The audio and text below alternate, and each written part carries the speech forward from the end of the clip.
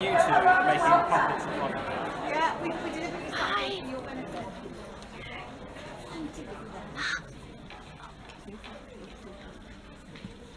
First of all, what a great turnout. Thank you all for coming today to listen to our great lineup of experts who are working hard in this area to address the global impact of substandard and falsified medicines. Today, our event is co-hosted by the Commonwealth Pharmacists Association, Fight the Fakes campaign, and the UCL School of Pharmacy. I'd especially like to thank our director, Duncan Craig, for his uh, support in making this event possible, and as well as to Victoria Rutter, who is the executive director of the Commonwealth Pharmacists Association, for her input uh, to tonight's program. Also a word uh, to our supporters, so the International Pharmaceutical uh, Federation of Pharmaceutical Wholesalers and the International uh, Federation of Pharmaceutical Manufacturers and Associations, who have supported this event. This picture here depicts a sign, a pharmacy in Macau, and it clearly says, medicines, no fakes.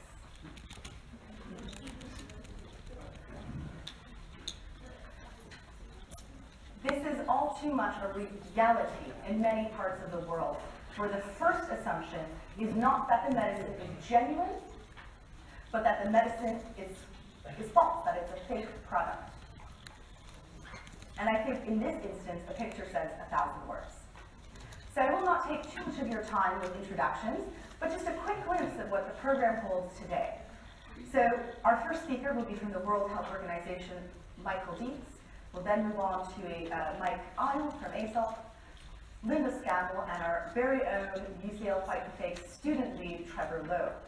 From then, we'll move on to a panel discussion that is moderated by the European editor of PharmaScript and Pink Sheet, Eleanor Malone, and then we have a Q&A session, which I encourage all of you to get involved and ask questions of the experts that have flown in from various parts of the world to be with you today, and a special address uh, from Her Royal Highness Dr. Princess uh, Nisreen El Hashemite, who unfortunately was not able to join us in person today, but will be speaking from a, a, video address to all of us. Uh, following that, there will be a reception and networking event that I encourage all of you to stay for. The School of Pharmacy is also unique because we have a global partnership, and that's called the PharmAlliance. So our partners at the University of North Carolina, uh, as well as Monash University, the pharmacy schools are also behind the efforts of Fight the Fakes campaign. And Dean Professor Will, William Charman has also made a special address for us today, saying that all sectors must be a global health threat. And as an institution of pharmacy education, I couldn't agree more that the first tier in terms of awareness has to come from our future pharmacists so that they have the wherewithal and the knowledge to act on the ground.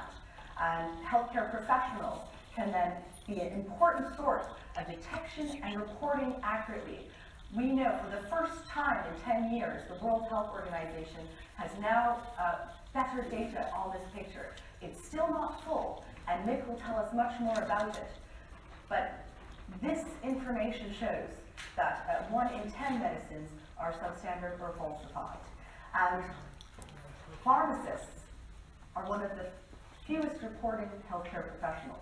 So this absolutely needs to change. Some of our other partners uh, that are also endorsing this important message is the International Pharmaceutical Federation, uh, the World Medical Association, the World Heart Federation, the Students Organization, uh, IPSF, as well as uh, the International Nurses Council, and many others. 35 partners in total, all coming together to give a voice to those who are victims of these crimes, who are voiceless because they have either been left disabled or in the worst possible scenario, have died. So without further ado, I'd like to introduce our first speaker. So, Michael Deats is the Group Lead Safety of Vigilance and uh, at the Essential Medicines Department. Uh, he joined WHO in 2011 as a project manager uh, and is responsible for the design and implementation of global surveillance and monitoring systems for substandard and falsified medical products. The following year, He was appointed the group lead for substandard and falsified medical products within the Essential Medicines Department, where he manages a team who receive reports, provide technical support, issue global alerts, and undertake secretariat duties for the member state mechanism for products. Prior to the WHO, Michael was head of the enforcement of, of the MHRA in the United Kingdom from 2005 to 2011 and led a team of 45 investigators, inspectors, lawyers, and analysts. He had responsibility for the investigation of all major breaches of medicines regulation through uh, to criminal prosecution. He led the largest successful investigation and prosecution in Europe of falsified medicines entering hospitals and pharmacies. He is the author of the MHRA's first falsified medicine strategy and enforcement strategy. Whilst at the MHRA, Michael launched the illegal internet pharmacy campaign known as Operation Pangea, now coordinated by Interpol. From 1975 to 2005, Michael was a police officer in the UK, based in London, but working internationally, specializing in investigation of organized crime. He attended the Police Staff College Bramshill both as a student and visiting lecturer to the Association of Police Chief Officers and International Command Corps. He retired in the rank of Detective Superintendent. Michael has worked over 60 countries worldwide. Please can we give a wonderful welcome to Michael Deats.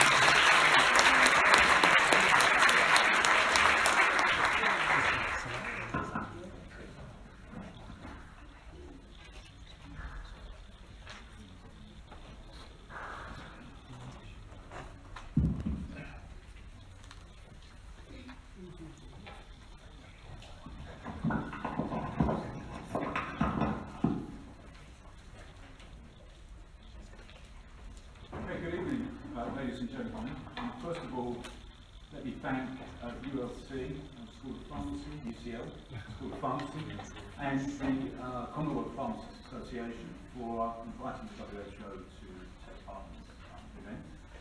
Um, It's really good to be here, and it's good to see so many of you um, here. Um, As a lengthy uh, introduction, um, so you see that there is an enforcement background, but this um, is not about enforcement, uh, this issue. This is about prevention. And uh, we need to prevent um, these, substandard and falsified medical products reaching patients, and there's lots of different ways we can do that. I've got 20 minutes uh, to speak to you, and um, I could uh, spend the rest of the evening showing you examples of cases from around the world. Um, but I'm going to show you some video footage and use some of my time up because I think this says more than uh, I'm ever going to be able to explain um, to you. So let's hope the uh, technology is going to work.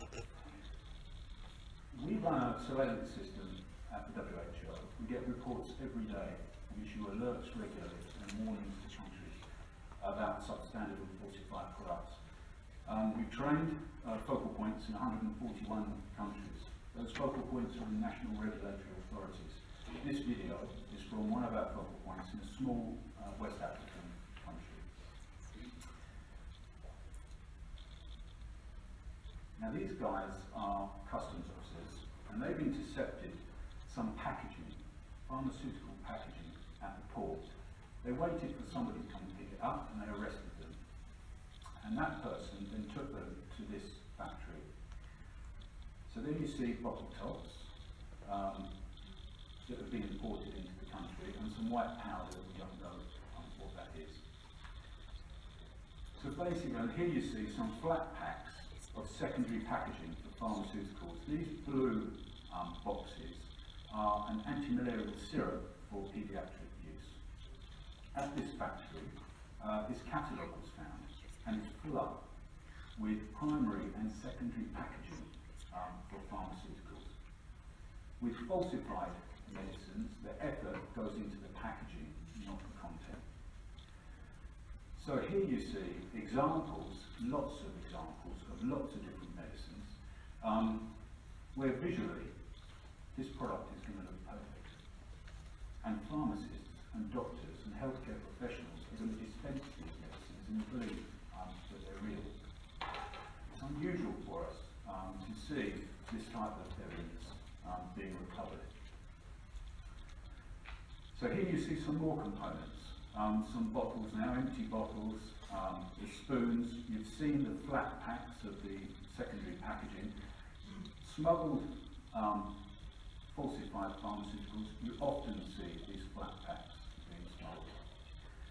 The cardboard boxes that are, they're contained in, um, printing on the outside of those relates to a brand of Chinese cigarettes. So they're coming through customs looking like Chinese cigarettes when they're open. You see the components um, of the packaging for some falsified medicine. Not all falsified from China or India, as is often said and often um, um, mentioned in print. Um, they come from all regions, including Western Europe. Uh, we see examples from all over the world of the manufacture of falsified um, medicine. So this one's um. So now you see some um, more bottles in the background and there's liquid. So these, all these components have arrived from Asia into a small African country. You've got the flat pack, you have the bottle, now some liquid inside.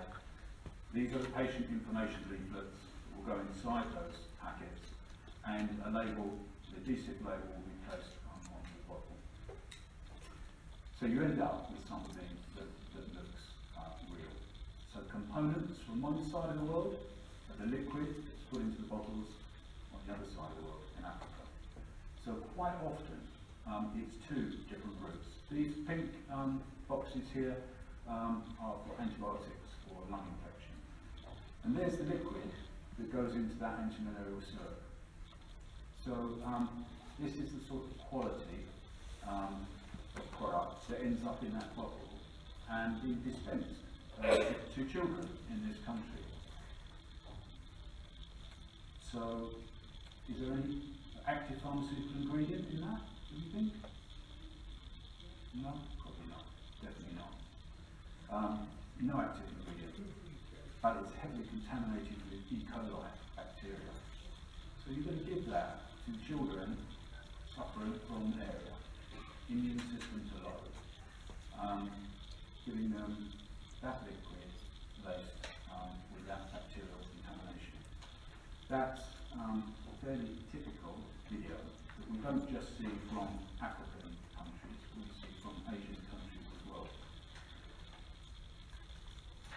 Easily penetrate the supply chain.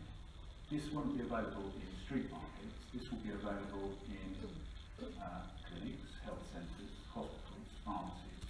Um, it penetrates the supply chain where the patient should have the highest degree of expectation that that product is going to be okay.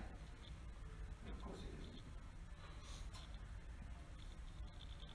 So, with the, um, the current surveillance system, 141 countries trained, 106 countries from all over the world have reported 1,600 uh, medical products.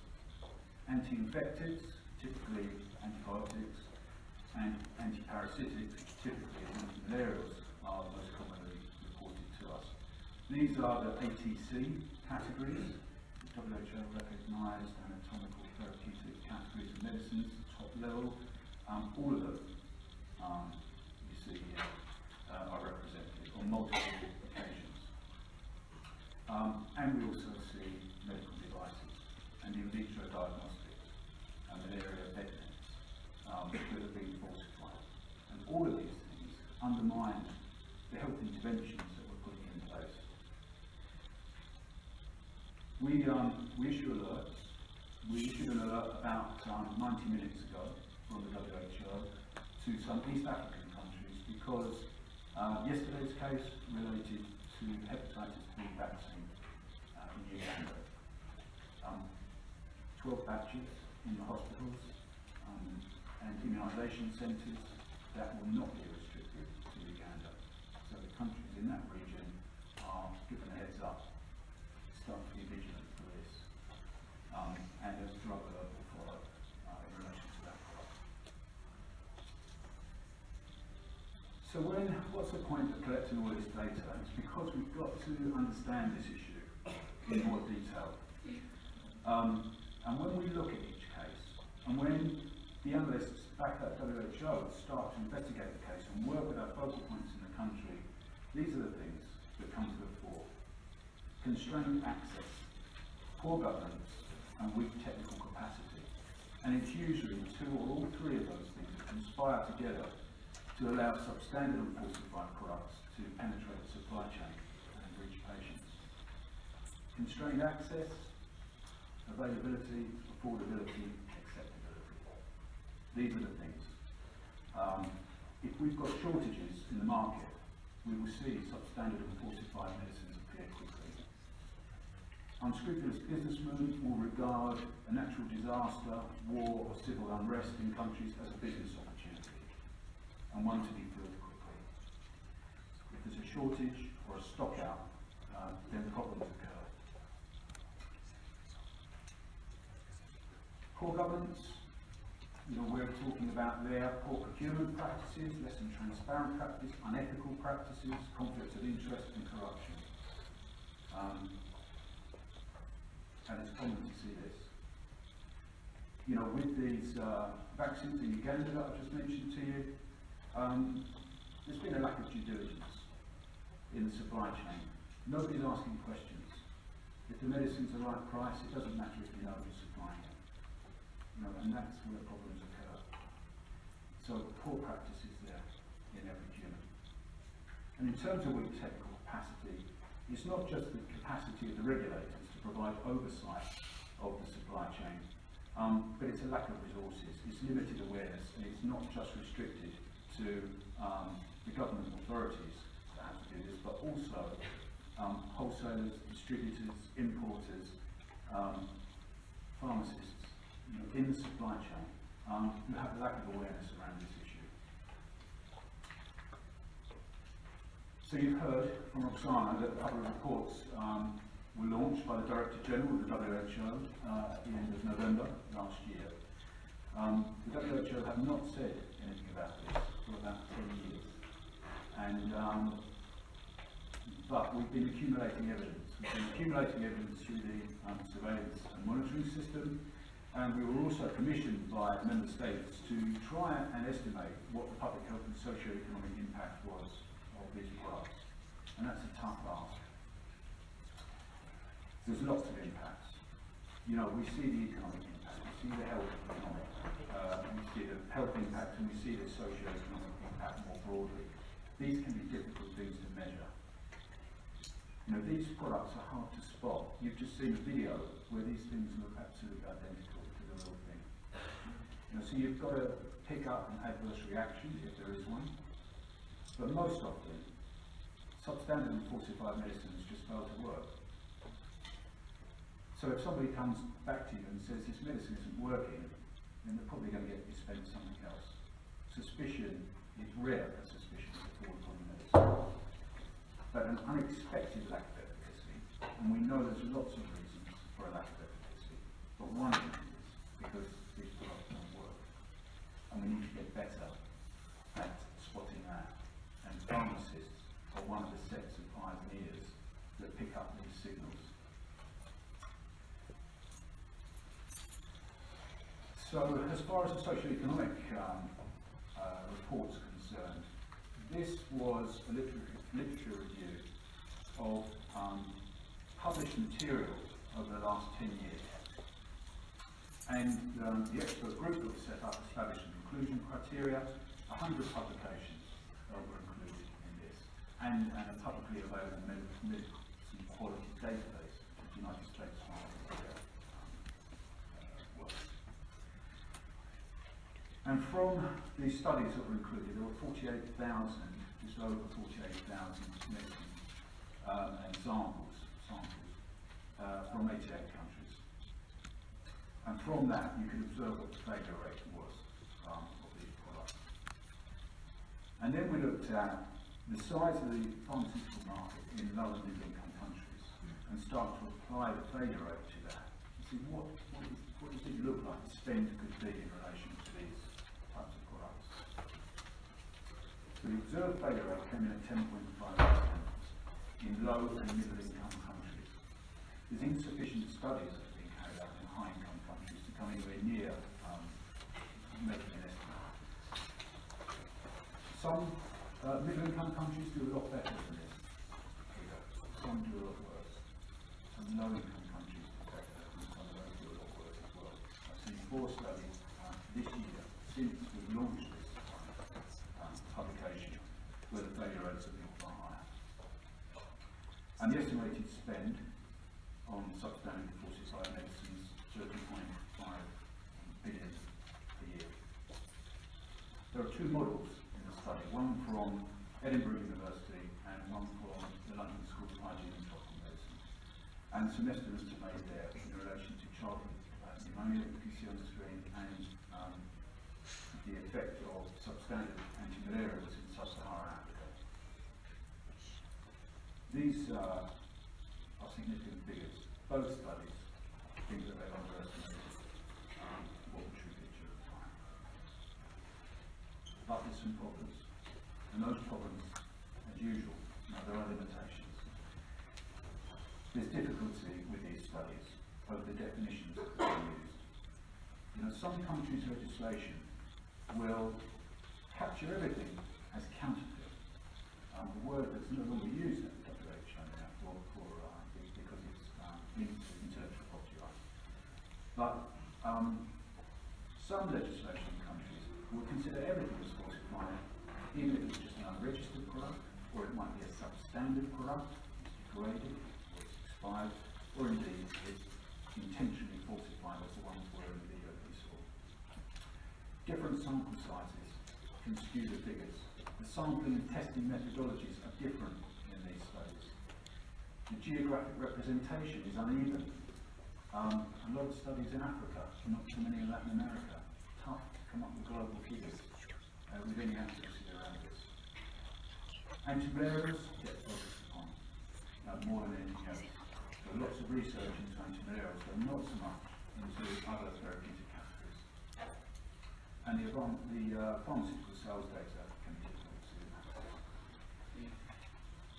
Now, the approach that's taken to dealing with the issue, and the approach that's been picked up by countries in, in all of the um, WHO documentation and in the member states' approaches to this, and more and more countries are picking up this strategy prevention first, detection, systems to detect it quickly in the system second, and proportionate response third. That's the approach that's taken. And countries set up um, their national plans built around this model, and they tailor it to their capacity and their capability in the country. So, you know, education and awareness being the first strand of prevention. Um, in Zimbabwe, that might be a poster competition in the schools for the kids to create some advocacy material around this topic. In Sweden, it may be a television campaign. So it differs from country this is the approach that's, that's picked up.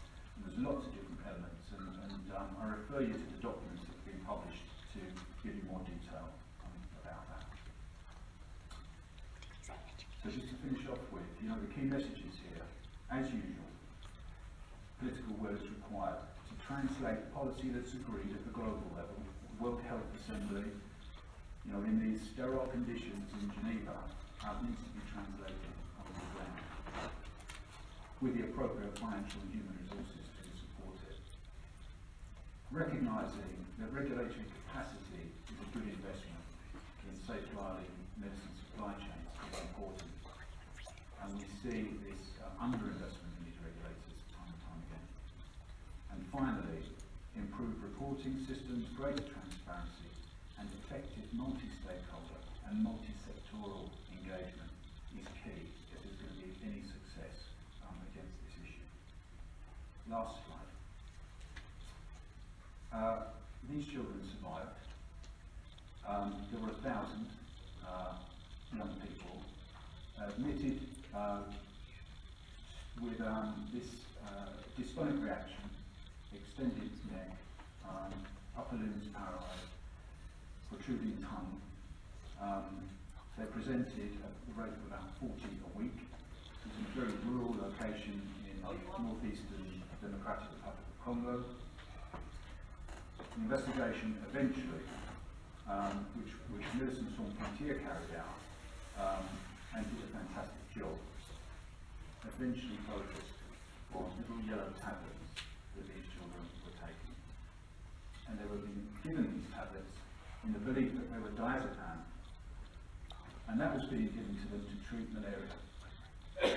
So, diazepam for malaria, pharmacists? Does that sound right? No. But if a child is suffering from convulsions from and there's no other medicine, so there's an access issue, and the only thing you've got is you might use it. Of course, when they tested those yellow tablets, it wasn't diazepam, it was haloperidol. And haloperidol is used for schizophrenia, and you give haloperidol in large doses children of this age, and 20% of them are likely to suffer these sort of reactions. So 100 medical staff were sent to this region, three medical centres set up um, to treat these children. 11 of them didn't survive. Um, that was a falsified medicine that had come from a neighbouring country because a wholesaler in the supply chain had a quantity of haloperidol that was coming close expiry and couldn't sell. But haloperidol, a little yellow tablets, and so had diazepam. He knew that diazepam could be sold in the country next door. So the haloperidol out of the blisters, and in the bottom of a thousand tablets, the false label saying it's diazepam, and sent it across the border. It's rare to see footage or victims of falsified medicines, but this is one of those occasions. You know, it definitely has a seriously bad effect. In most cases, a lack of efficacy. So we need greater awareness, especially amongst healthcare professionals, and pharmacists are absolutely key to pick up the early warning signals and get them reported. Thank you.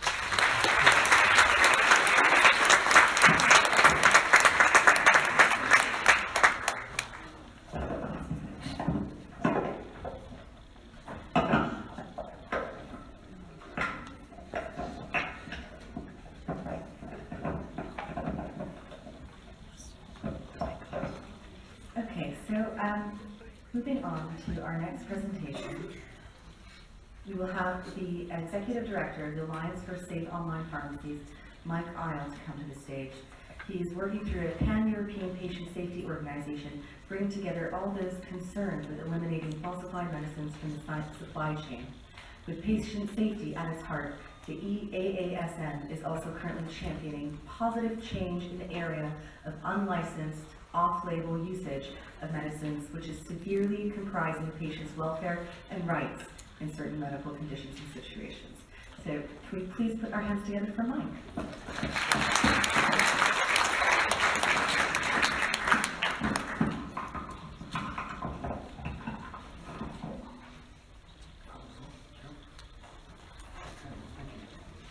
Well, good evening, everybody. Thank you very much, Dr. Sana, and thank you, Oksana, also um, for inviting me here tonight, and indeed the uh, UCL and the Commonwealth Pharmacy Association. I feel very honoured to be able to present you tonight. Um, so I'm going to uh, spend 10 minutes, and I shall get my clock going so I don't run over. Um, and like Michael, I'm going to show you a, a film in a moment, which I think brings home a, a segment of supply chain that I'm mainly concerned with now. But before we get to that, um, very briefly, the European Alliance for Access to Safe Medicines had something to do with the Falsified Medicines Directive in that we brought it to the attention of EU Parliament many years ago that this was a patient safety issue that got onto the pharmaceutical package and the directive was born, uh, as I say, some time ago. It's been going through its uh, implementation and as of February 2019, as you may know, every single prescription pack in 28 member states will be uniquely serialised and identifiable. And you guys will have the privilege of, uh, at point of dispensing, to check if it is a falsified medicine or if it's verified and authentic. Um, out of the European Alliance for Access to Safe Medicines, we then formed another patient safety organisation, the Alliance for Safe Online Pharmacy in the EU. And I spend most of my time trying to uh, get people together, as Michael said, it's all about collaboration and cooperation. And uh, the, the biggest goal of ASOP EU really is is um, educating you and me about the issues of the internet because it's a very separate supply chain and you'll see that in a moment. And then finally I work for this amazing charity called International Health Partners um, who actually um, get uh, medicines to disaster struck areas, that's one of the main things they do, and, and basically save lives in other countries after disaster strikes. And we actually have two, two uh, members here today. So without further ado, I'm going to show you a four and a half minute video now, and I'm assuming, Oksana, that it will, if you could just get it going, that would be super. Thank you.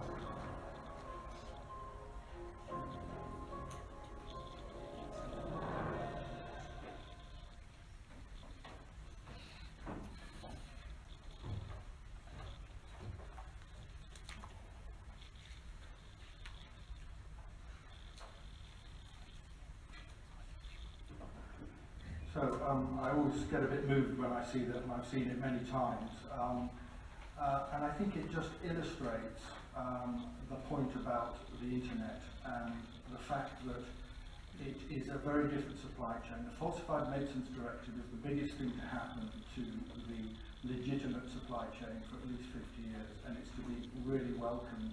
The issue we have, though, is that um, is that people want to trust the internet and they to use the internet to buy anything um, they would like. And so there is this perception that you know you can get uh, prescription drugs at a bargain, and depending on which country you go to, then that's around Europe, it does vary. Um, this was a, a study uh, that was uh, done in 2014, and I extrapolated from the 18%. Now, I could be millions out. Uh, the point I'm trying to make here is that a lot of people are going online to buy their medicines, mainly unwittingly. And uh, this, this is factual, 30,000 fake pharmacy websites um, are accessible by you and I throughout the 28 member states. And about 97% of those are operating illegally.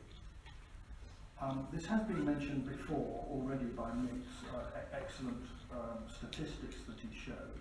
Um, but I think we have to get away from this notion that people go online primarily to buy steroids and um, uh, um, um, um, lifestyle medicine.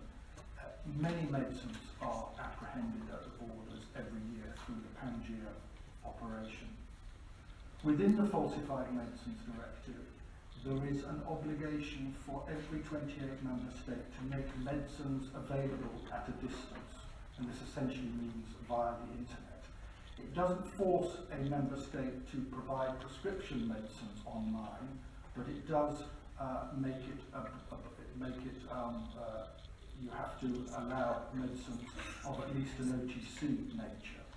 And if you want to, if you're a pharmacist and you want to uh, go online, then you have to register, and it depends on which authority, uh, depending on which country, and you have to display this common logo on each of your pages that are selling the website. Now, I put Article 85D up because it obliges each member state to publicise what is this common logo, so you and I get to know that if we go on the site, we can recognise it and we can click on it and go through to the registry. But it also obliges each member state to inform us what is a falsified medicine. The trouble with the directive, no money goes to the member state to actually enable that directive to be fully implemented. And so we have been uh, having a number of meetings. Uh, we've had five now. We had one with the MHRA um, uh, last week. And we've been collecting information about are the member states running campaigns. Now the blue, the blue bars are saying yes we are.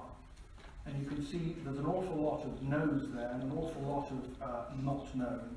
And so we are, if you like, on the, on the road to uh, trying to help member states actually promulgate, publicise what is a falsified medicine, what's a common logo. And depending on which country, it's very variable. Very happy to say in the UK they're incredibly active and you'll hear about that in a moment. Uh, we at ASOP EU are very fortunate in that uh, Google gives us a substantial AdWord campaign, uh, AdWord grant. And I, I put buy medicines, I did this yesterday, I put in buy medicines, and the third advertisement down is the ASOP EU uh, advertisement, and when you click on it, then we are running five uh, campaigns across Europe, uh, all obviously all in different languages. It would be lovely to get a grant that could uh, enable us to do this in 28 member states. This is the German website, and you can click on it and you get information about um, what is a falsified medicine, and more importantly, how you can buy safely online. Currently, we get about 35,000 first page impressions, so, and uh, a high click-through rate, it's called, 1,200. And within each page, there is a, a 10-question monkey survey, and we've had 1,700 responses. And I'd like to end on a high note. As you probably realise, this is a global problem. Um, we're not there yet. It's about you and I trying to understand how to buy our medicine safely. But what I can say is that, I think it's question nine, we say Now that you know these websites are operating illegally, will you change your behaviour? And 70% say, yes, I will uh, look for an authentic website um, uh, and I will go a bricks and mortar pharmacy. Thank you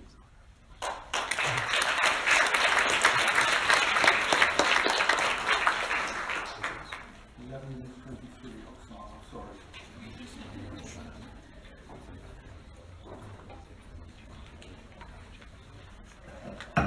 How do you change it? So please may welcome to the stage Lynda Scammell, who is the Senior Policy Advisor of uh, the Enforcement Group of the MHRA and Chair of the European Directorate for Quality of Medicines, EDQM, under a partial agreement with the Council of Europe. So Linda, please join us.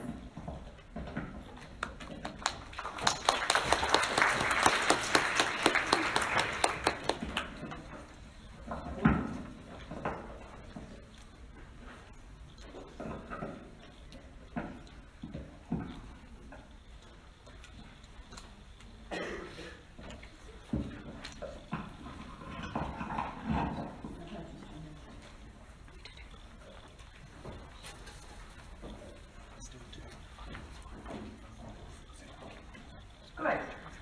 Good evening, ladies and gentlemen. Um, I would also like to the thanks of the MHRA to Oksana and UCL and the community and the Commonwealth Pharmacy Association for inviting us here tonight. I'm going to focus a little bit more on the actions that are taking place in the United Kingdom and, and Europe. So, medicines then. You'll all know what their purpose is. They call me old-fashioned, but I think they're to cure people and to enhance your well-being, not to kill you. But the problem is, as we've seen demonstrated already, medicines and medical devices as well are increasingly subject to illegal trading.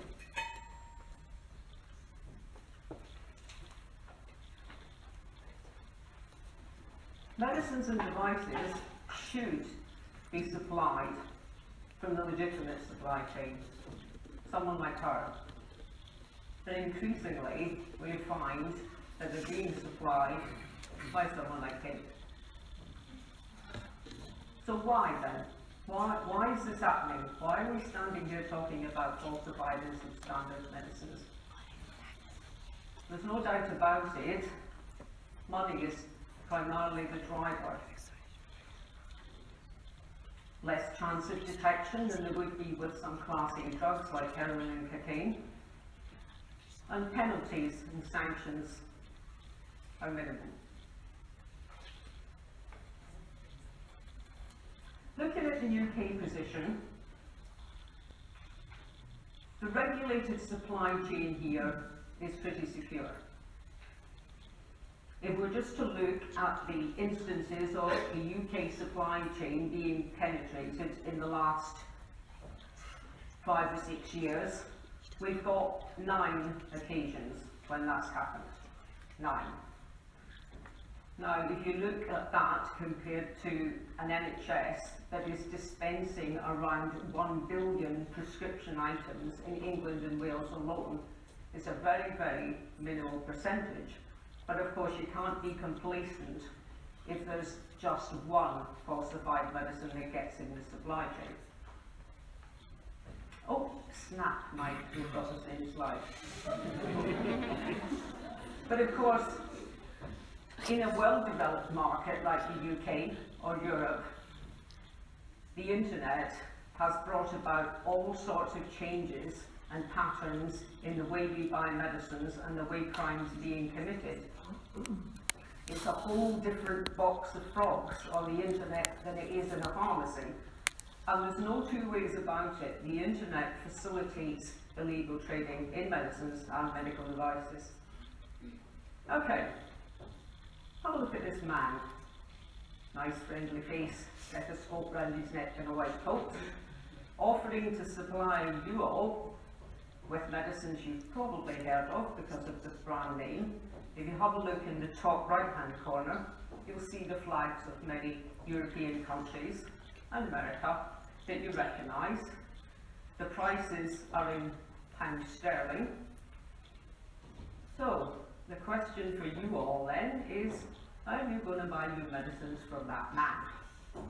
Hands up who think they'll give it a go. Go on, don't be shy. Obviously, because I'm standing here, there's a catch, right? Well, we'll not go into the whole story, but those medicines are not what they say they're going to be. They're manufactured in one country, the website is hosted somewhere else, and they transit about two continents before they get to Europe in the first place.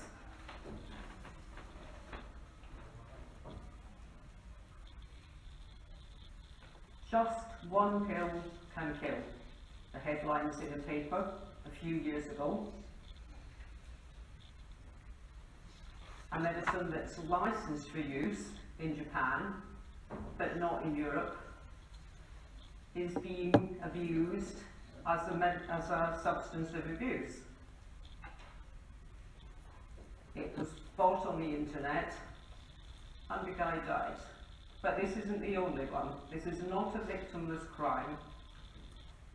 Lorna Landon, a paramedic who had difficulty sleeping. She worked lots of shifts and wanted to help with her insomnia and bought sleeping tablets online. She's not here to tell you the story of why not to do it today, so I will do it for her. Somebody got addicted to sleeping pills and hanged themselves. We've heard talk of Operation Pangea and what does that look like in the UK? Well, the Pangea exercise last year, just to give you a snapshot, a total of nearly six and a half million units of medicines and medical devices were stopped at the UK border. And this is an estimated, worth an estimated 13 and a half million pounds. So, that's just during the course of Operation Pangea. So if you have a look, medicines there at the top.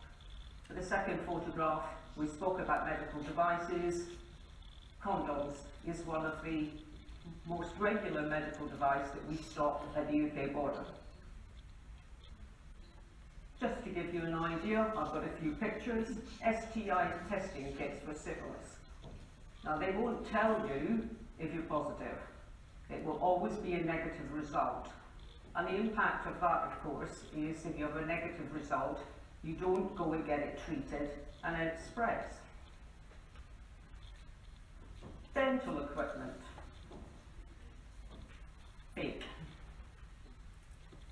And I'd like you to introduce you to probably the best looking member of the enforcement team. Um, on the left there is Daisy the dog. We rented, if you like, Daisy the dog for a couple of weeks a few years ago. Well, we rented her nose, I suppose, because as you know, dogs have a very, very good sense of smell. And because of Daisy's work, you'll see on the right a load of diazepam tablets that Daisy sniffed out at Heathrow Airport.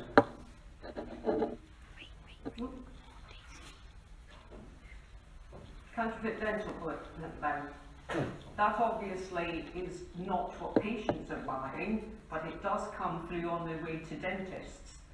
We've had a couple of near misses with dental bills. One lady who was at a dentist, the top of the dental drill blew off and it nearly went through her, her mouth into her head. It scarred her face. If anybody's scared of dentists here, I know this isn't helping, this is a very, this is a very, very small percentage, but just to illustrate to you just how far people will go to counterfeit medicines and medical devices.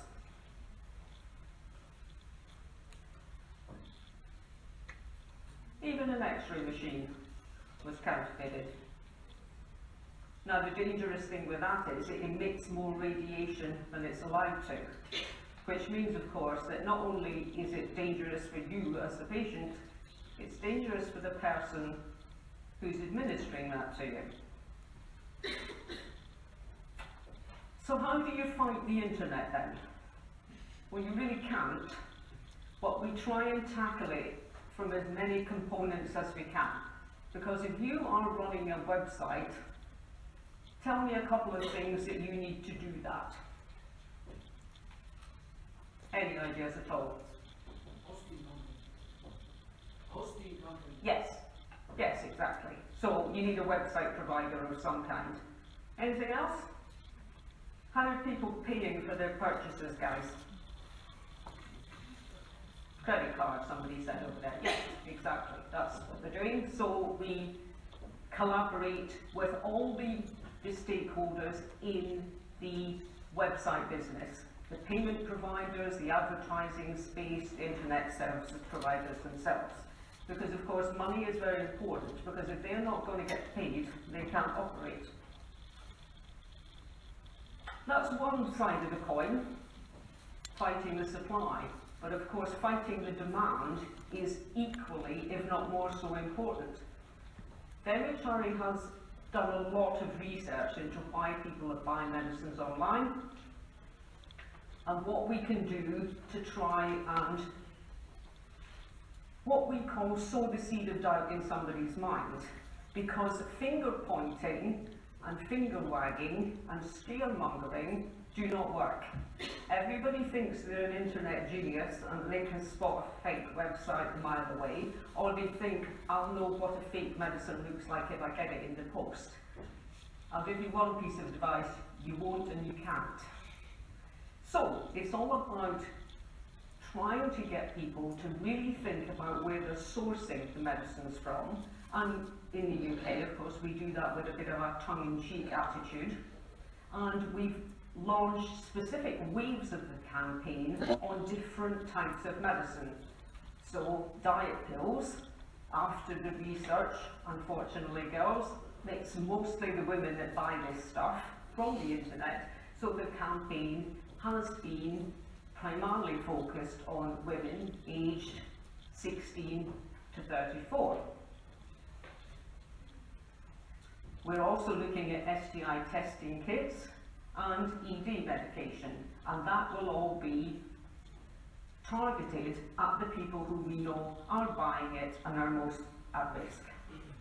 That just gives you an indication of some of the a lot of the campaigns these days are done on social media, A, because it's a lot cheaper, and secondly, because it reaches far more people, because that is where they're going for their information on medicines. We also managed to get a plot line on Coronation Street where someone called Bethany bought some diet pills on the internet and was very ill.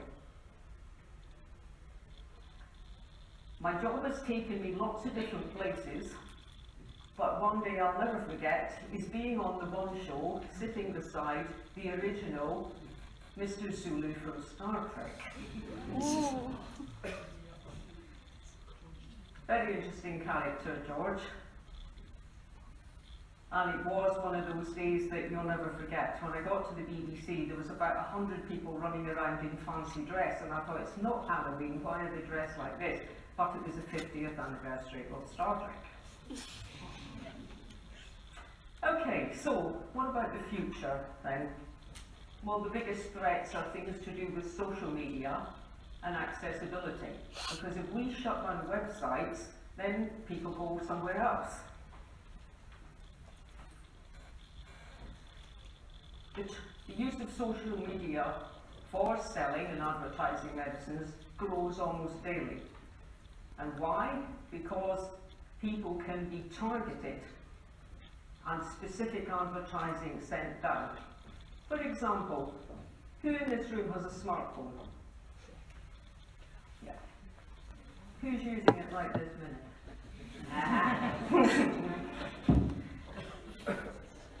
but it has the ability to advertise to millions and millions of people at minimal cost.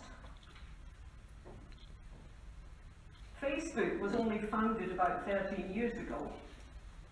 and Now it has over a billion users worldwide. YouTube.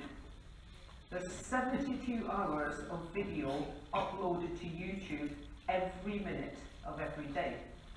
I mean, most of it's about dads dancing at weddings or cats stuck up a tree or something. But it has a, it has a very sinister side. We, we have closed down a lot of websites for illegally selling medicines in the UK, but they move on somewhere else. And we've, we have taken 20,000 videos and links from people who are illegally selling medicines through YouTube.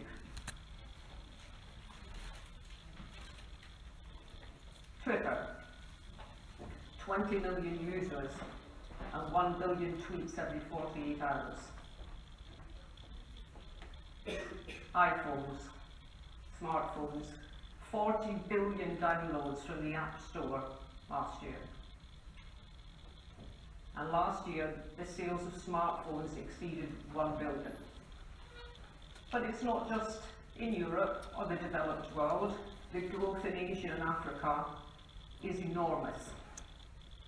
From 745 million to under 3 billion in the 10 years between 2005 and 2015.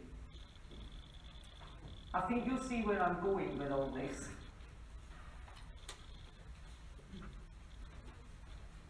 Because all those things end up as a headline like this. Abortion, tail, abortion pills sold to teenage girls on the internet for 78 pence.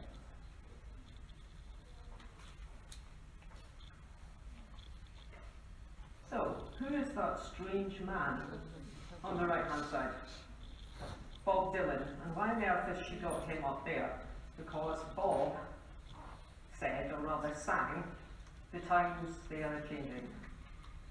And I think that's true for all of us. For people as a regulator, for the WHO, for patient associations, for students, for all of us. It doesn't stand still and we have to do our best to keep up with it. Thank you very much for listening.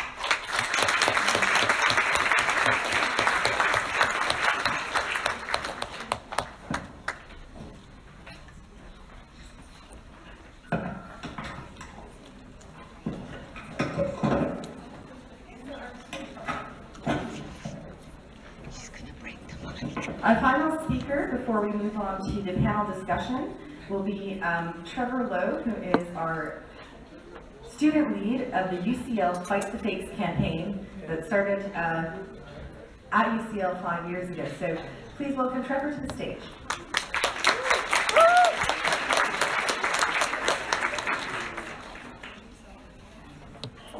I didn't just go for that. He's like, yeah, I'm doing the recording. Yay!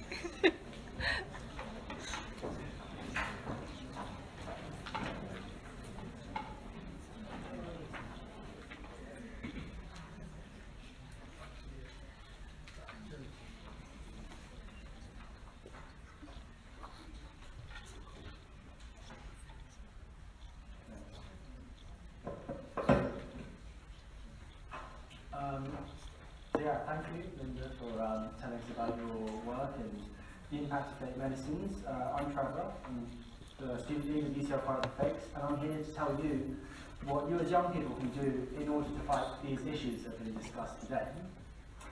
I've been involved in this campaign since it started in 2015, and I'm involved because as a young person, you might not feel like you have a seat at the table, and you might not feel like there's not much you can do, or you might even feel like that you're not represented enough.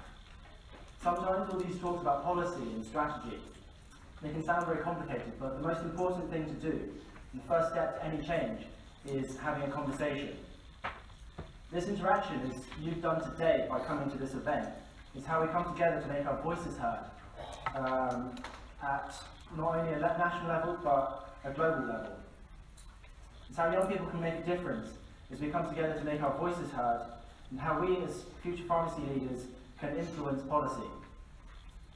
In the words of RPS President Ash Soni, Where there's medicine, there must be a pharmacist. And there's a real buzz at the UCL School of Pharmacy for this sort of activity in order to make sure that this continues into the future. And I'm going to share with you today how our students have been involved and are getting people involved.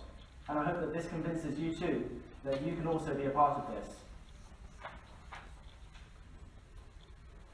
Everyone takes medicines, and we might not necessarily think that SF medicines can affect us, but as we've shown today, it can happen in every country. Uh, an example of how this will affect us in a really direct way is through the Falsified Medicines Directive from the EU that will uh, be implemented in 2019. This personal connection is what drives our aims and what enables us to reach out across networks to do the cutting edge work that happens here at UCL. These are our aims. Uh, we aim to raise awareness about the dangers of fake medicines, to give a voice to those who have been personally impacted, and to build a global movement of organisations and individuals against fake medicines. And the way we do this is through our four pillars of education, research, public engagement, and policy change. I remember learning about this global health aspect in my first year and being intrigued by the impact that it had. But this quality teaching on fake medicine shouldn't just be limited to UCL. And through the support of our Global Research and Education Network PharmAlliance, we plan to roll out teaching to other schools so that part of their curriculum in all three continents uh, of the North America, uh, Australia and, the, uh, and Europe. This network hasn't just allowed ease in sharing the theme of fighting fake medicines, it's also enabled education leaders to come together and share research on pharmacy practice innovation, as well as for students to work together, for example, through an international case competition involving a clinical case study. We've also got students doing research in this area at UCL. One of the master students on our team, Naira, who's in the pictures here, uh, did a project on the significance of SF antimicrobials and healthcare professionals' perspectives. Her work led to us going to interview the RPS president, Ash Soni, to film promotional material to chat about what the RPS can do to help. Another project we did linking uh, research and education was a debate with the school's debate club on the topic substandard medicines are better than no medicines, leading people to think about how wide-ranging the issue is. Our third uh, pillar is public engagement. You can see some pictures of staff and students at the UCL School of Pharmacy and uh, at UCL in general, but engagement isn't just at a local level.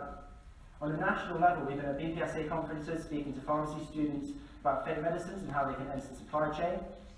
And on a global level, we've been in Milan, Toronto, and even Harvard University through the hard work of our members, through the hard work members of our team have put in to spread our message. Um, I'd also like to give special credit to two of our Erasmus students you can see here in this picture on the left, uh, who took time out from working on their projects to hand make bubbles and speak to the people outside Milan's Duomo. Our fourth pillar is public health policy engagement. A personal highlight for me through my time on the campaign was at the 69th World Health Assembly where we spoke to health, the Health Minister of Nigeria, where he told us of the work that his country has done in reducing the incidence of fake medicines from around 70% to 1 to 2%. We also attended the Fight the Fake Side event here, and there's a picture here of where Oksana spoke about UCL's involvement. We attended again next year, um, where we spoke at a roundtable discussion on the role of the next generation in addressing non-communicable disease. Some suggestions included giving youth the opportunity to have a seat at high-level meetings with stakeholders, and training young people in policy and advocacy. We also talked about how we can take the lessons that we've learned from Fight the Fakes and apply them here. In Brussels, we were at the first Fight the Fakes, the Fakes partners meeting, where we had a seat at the table during the discussion of where next to take the campaign, with exciting suggestions such as actively driving policy at the World Health Organization. There's another big moment here uh, at the IPFW, IFPW General Membership Meeting in 2016, where we met Emma Walmsley, the CEO of GSK. And finally, this image in the corner there in the top right, it speaks of our strength as a social media campaign. When we were at the Geneva Health Forum, Where innovative practices in global health were shared, we were named the top 10 social media influencer. I hope I've convinced you of the power that young people have in global advocacy and change. I'd like, to close, I'd like to close with a quote from an interview we did with Professor Ian Bates, who has many roles from Professor of Pharmacy Education at UCL to Director of Education Development for the FIP. Every citizen should have the same equal access to pharmaceutical care, no matter where you are. And this really sums up the work that we do, and the work that's involved with public health. Equity, equality, and social justice. These values are why we entered the healthcare profession, and it's what continues to motivate us to improve health. And it's what I hope motivates you to strive towards pharmacy leadership to make a real difference. Thank you.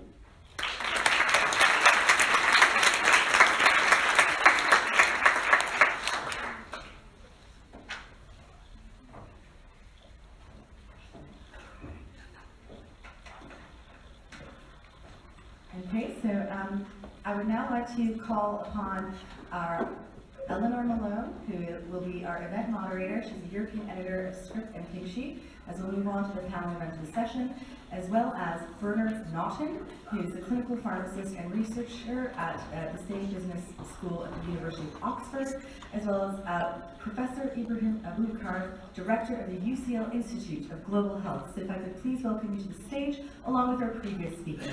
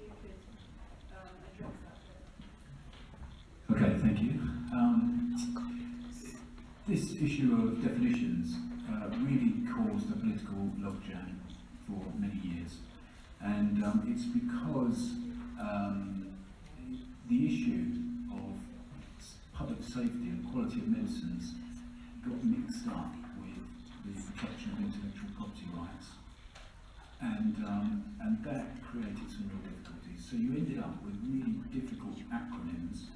Um, SSFFC for many years was the one that was used, um, and um, we needed to clear that up. And it took quite a long while to get all the countries to agree to that. But we did some uh, research of the legislation around the world, and when you looked at all the legislation from all the different countries, the essence of the law was the same. Um, so when you could then um, look at the commonalities uh, and also being sensitive to the terminology which was causing problems, um, could come up with um, simplification.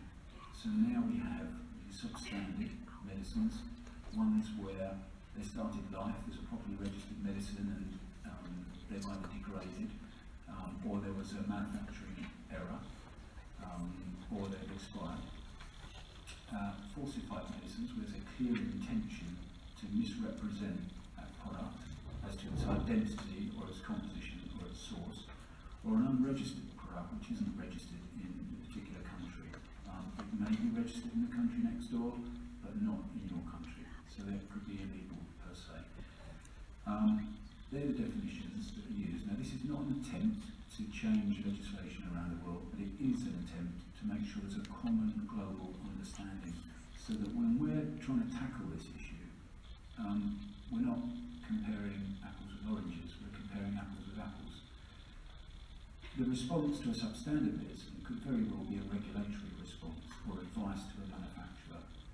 The response to a falsified medicine is going to be different, um, and that's probably going to be some sort of criminal um, action taken. So it's important that we make those separations. So now, eventually, we've got some clarification around um, this, and that's where we stand at the moment. Whereas with counterfeit medicines, presumably that, that muddied the waters because it was looking like it was an issue from big pharma companies not having their, their drugs um, completely identically copied and sold cheaper. You know, like, like t-shirts or something, people could say, well, there's no harm. Yeah, the, the, um, the term counterfeit is defined under intellectual property law. So it's, it's, you know, it's more associated with that protecting intellectual property rather than protecting health. Um, so there needed to be that separation. But just to clear up one issue there, you've heard that um, we're responsible for a global um, surveillance system. Um, 50% of the cases are generic, 50% of the cases are um, big pharma medicines. It doesn't matter whether a medicine is cheap or expensive, um, it, it's about demand.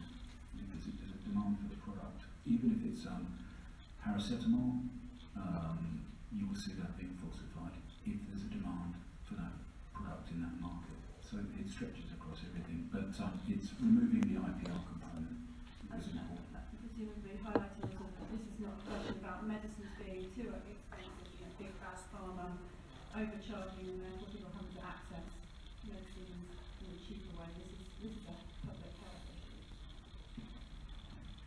Mike? Um, I, I, I'm slightly conflicted on this one. Um, I think my fir- first scientific paper came out last year was about this, this whole debate, falsified, fake, counterfeit, etc. Um, I always put myself in the shoes of the public and what's the right word for the public. Because, um, and that's why you see the Fight Fakes campaign, you know, it's called fake, fake medicine.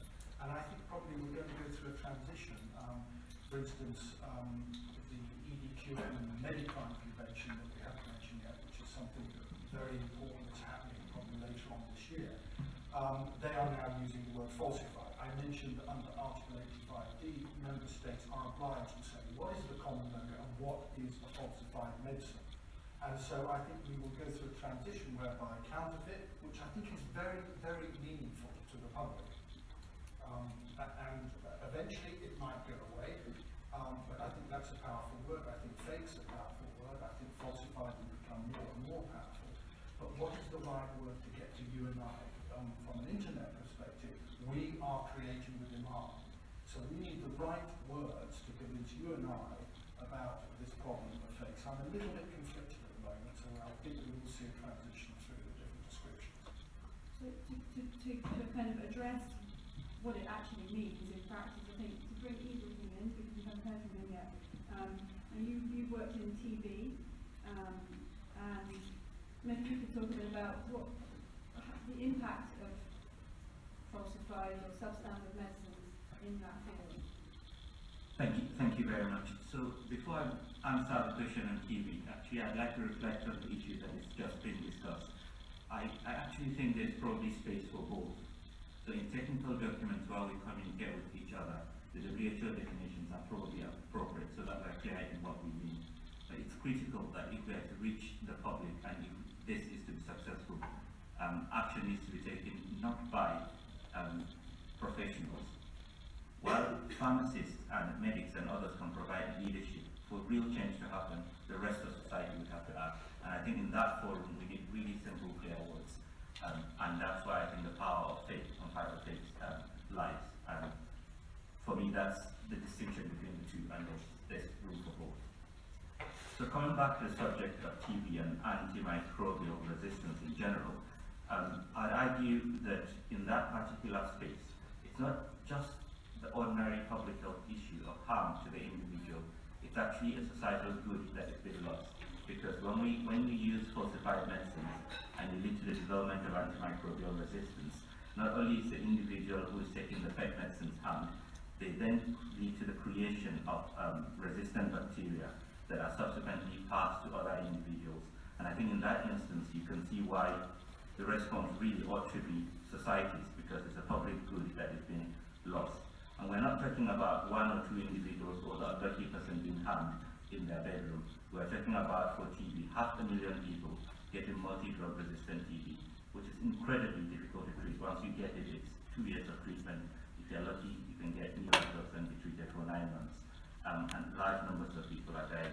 It's the same story for HIV, somewhere between um, 5%, to 15% of individuals starting new HIV treatment in the countries where high of HIV have some form of resistance to the um, anti-HIV medicines. It's a similar story with malaria. If you are lucky to be in places like the border between Cambodia and Thailand, um, you could have malaria just, anti-malaria drugs just don't work. So I, I feel that this is a very critical issue that the pharmacy community should take the leadership, but we need to get the rest of society engaged. Um, do you have any concrete solutions that you to implemented? The solutions are clearly multifactorial. Movements such as Face the Fight the campaign is a good start to it. Professional leadership and response to that is part of it. I think the previous presentations of, and talks have articulated quite well that it needs to be multifactorial. It's about governance, it's about the motivations of people and money, but it's also about using um, technologies to be able to tell when you need antibiotics and when you don't, when you need, when the drugs are fake or are not, through uh, appropriate regulation, but also to be able to um, design medicines and their packaging where they can be identified um, so that pharmacists that are dispensing the medicines actually know which ones are fake and which ones aren't.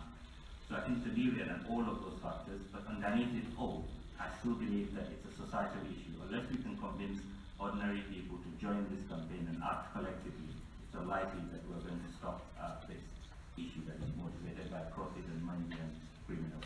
Thank you. So maybe I could throw out into to the whole panel, um, you know, something motivating people to buy fake medicines online, um, and we can educate people that it's dangerous, but what can you provide, what is it that's making them do that, and how can we provide a safer alternative rather than just go to your doctor? Some, for some reason they didn't do that. So, I would So it. Go ahead, Yeah. as a Um. So the literature on uh, purchasing online generally, um, one might think that people go online to buy because they're cheaper, but actually the literature is more around convenience, and more research needs to be done in the purchase of, of medicines online, um, in distinction to the purchase of other goods online, because it's a totally different context. And although convenience is the driver for buying products generally online, to figure out what are the factors, and what are the kind of behavioural issues associated with people who do buy medicines online. I think the point about using the term fake for the general public is really useful because what we need to do is generate conversation between peer groups um, about the subject. Um, and I think mobilising the general public is, is the way to solve this problem. Um, working in isolation on, on projects is, is great and everyone coming together is great, but it's all about the mobilisation of the general public. But at some point, buying medicines online, will become normal, become more widespread. And so, you know, are, is the other bodies working towards creating a system that's safe? I think you have to be realistic about the issue and, you know, online sales increase year on year, um, pretty much every industry. Um, and taking the attitude that people shouldn't buy medicines online um, outright is not really, it's not the solution, it's not forward thinking. You need to educate people how to buy medicines online safely. I think that's best way to do it. Perhaps I can just make a little comment there. It's very interesting that in the Falsified Medicines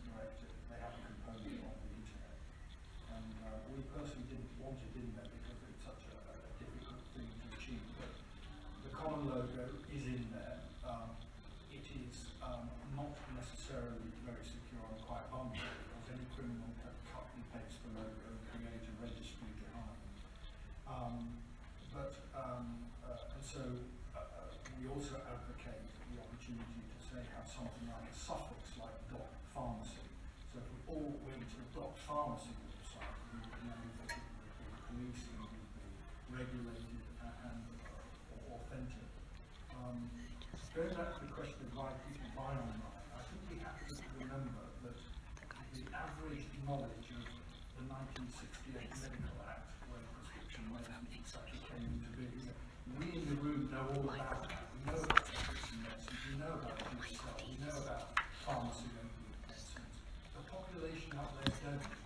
One of the questions on the survey is, did you, uh, do you know that um,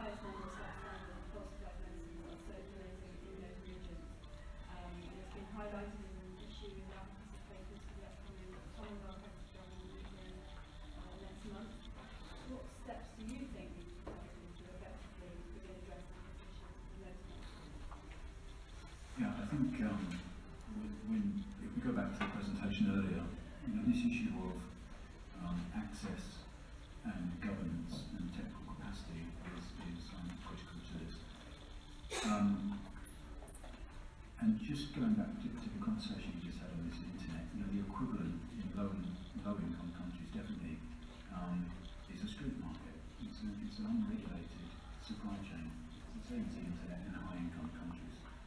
But when we research, when we're in sub-Saharan Africa and we're speaking to consumers, or we're in illegal street markets there, you know, patients will say, well, you know, I can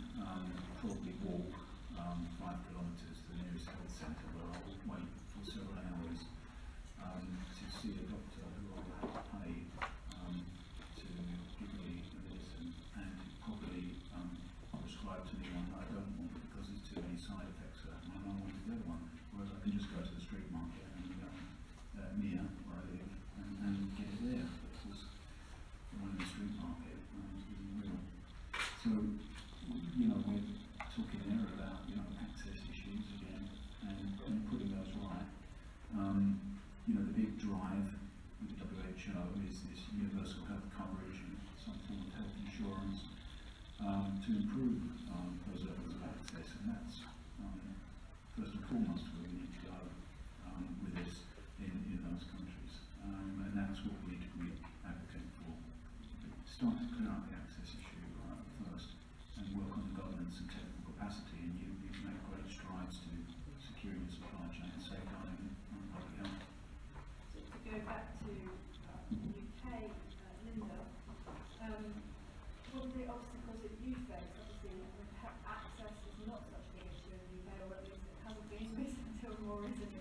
Um, how do you think over here we can improve prevention and detection um, response to self-harm prevention?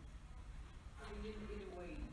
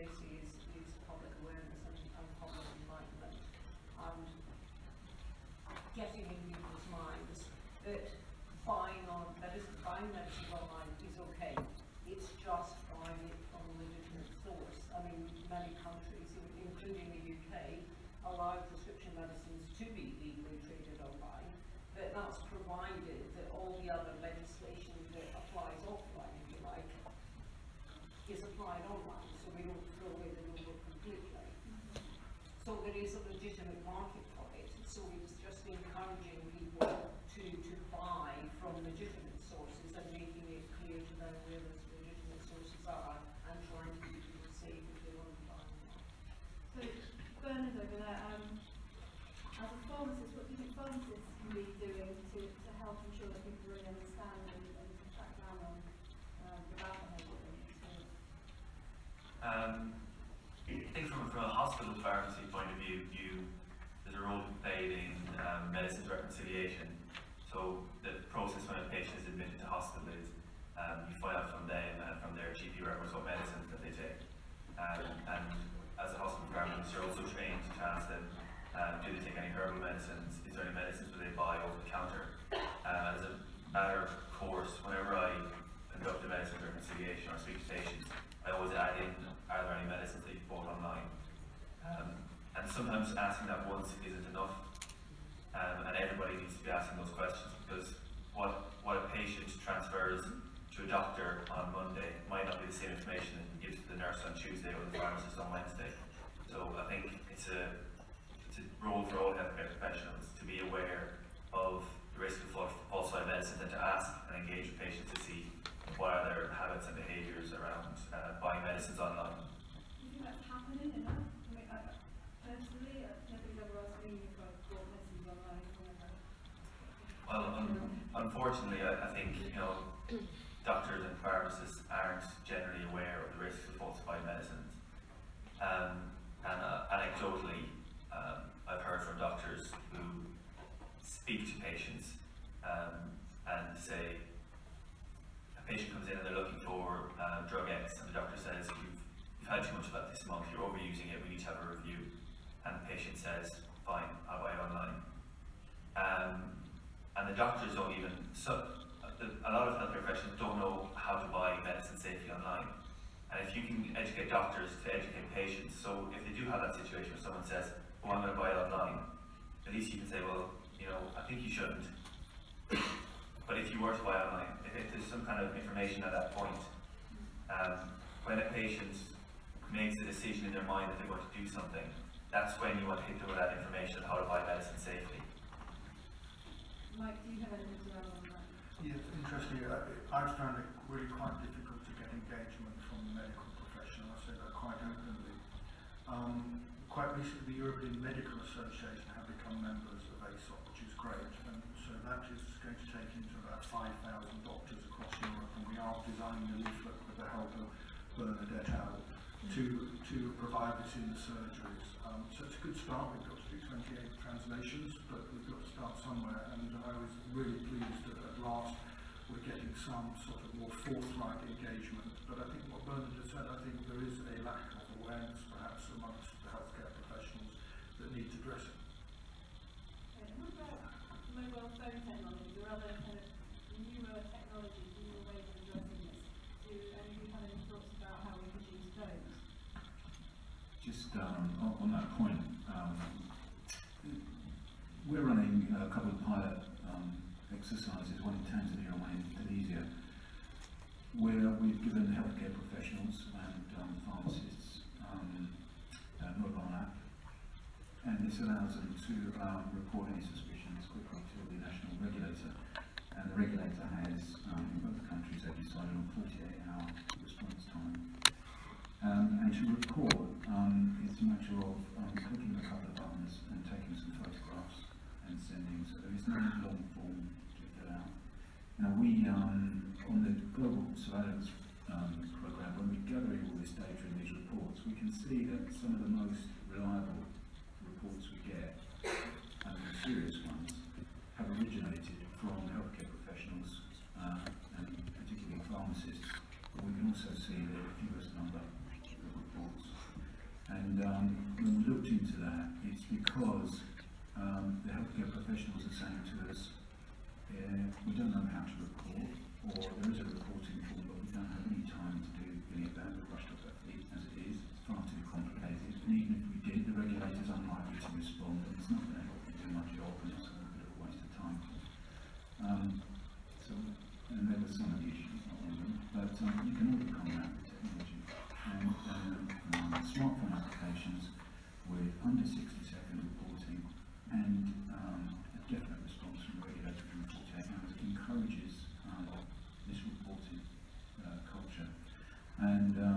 success, and it takes a while to change uh, reporting cultures, but the strike rate um, has been high. And when healthcare professionals um, see something they don't like the look of, invariably there's, there's something wrong. So using those technologies is uh, really important, and at the end of these um, two pilot studies, we will um, decide whether this will scale up um, uh, across the regions.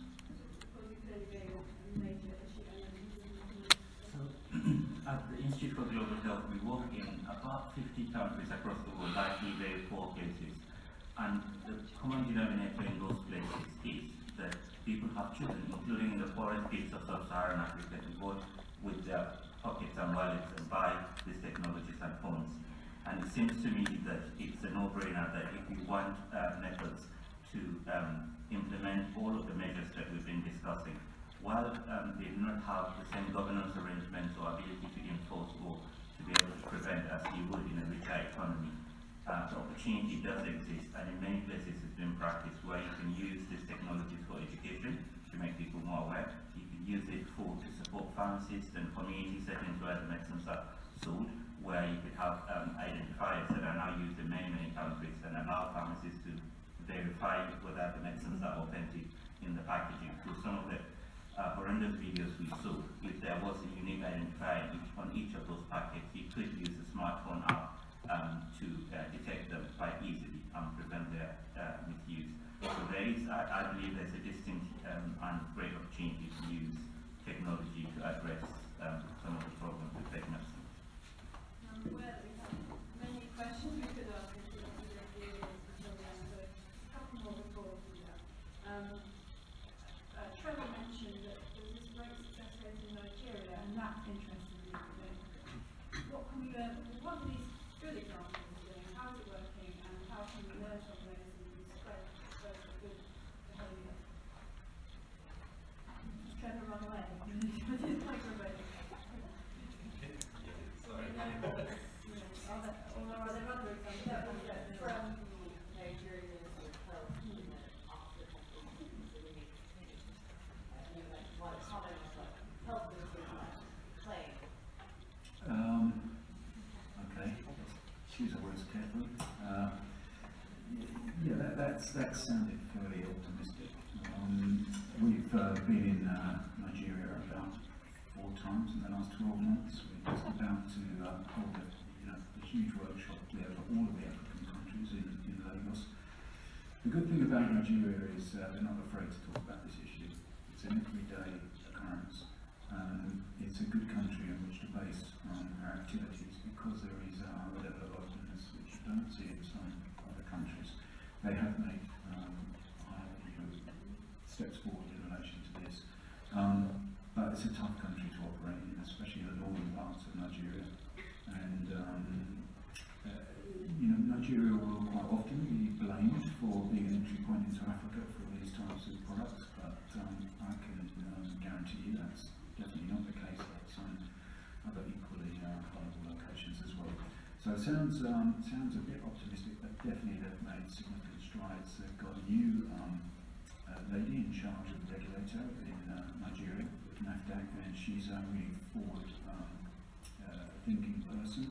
They've just set the national strategies on prevention, detection, and response. Um, they're well funded, well supported, well staffed, um, which is different to a lot of the countries in Africa. So um, yeah, progress has been made there. Um, but um, one or two percent, I'm not sure. Still, there are some lessons that we can learn in reduce it a bit. Um, and the other question I have is about the penalties. Do you, do people want to kind of think that the penalties are sufficient, um, for the illegal supply of medicines? Um, no. and they, they, there was a study done by the Oxford University, um, uh, the legal arm of that university, I think it was published last year, and they did a, a scoping exercise of the laws across Europe, sorry I'm being Uh, um, but, um, no, I mean, the, the penalties are variable, they're not strong enough, they need to be enforced, and, and I would just like to mention there's this thing called the Medicrime Convention, which has now been signed by over 20 countries, 11 have ratified it. And the Committee of Parties will form, hopefully, at the end of this year, and will start to um, uh, develop whole process of the Medicrime Convention, which essentially um, makes it a criminal act to um, to do anything to a medicine, whether it's the packaging or the API or the pills or, the literature or the, documentation that's transported around the world. And I think that there is an opportunity to actually get more joined up on this whole issue.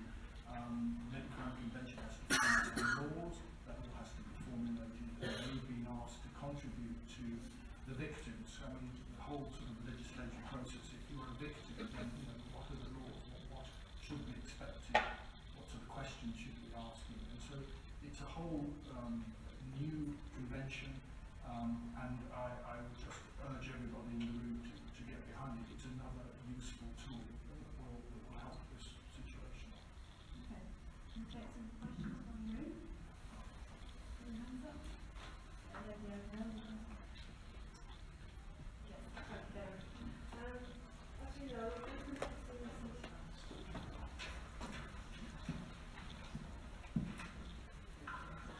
Um, sorry. Um, my name is Tanya. Um, I previously worked in uh, medical information, pharmacovigilance and regulatory labelling. So that's my background. Um, the question I wanted to ask is that the medicines leave the pharmaceutical manufacturing plant, sometimes they're intercepted via the distribution chain by criminal gangs. And they copy the primary and secondary packaging. Therefore, in your opinion, anyone on the panel, what's the most effective form of anti-falsification methods on the packaging to ensure the genuine drug reaches the intended destination, that is, the hospital or the pharmacy?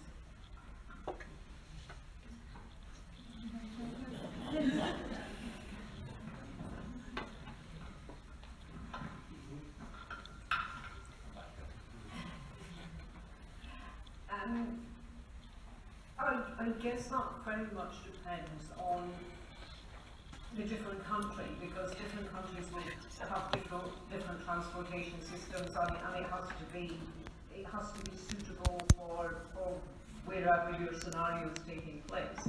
I mean, in, in Europe we have to introduce, as already has been discussed, a safety features system which is a unique identifier and tamper-proof packaging. It goes on the all prescription animal medicines throughout the EU from February next year.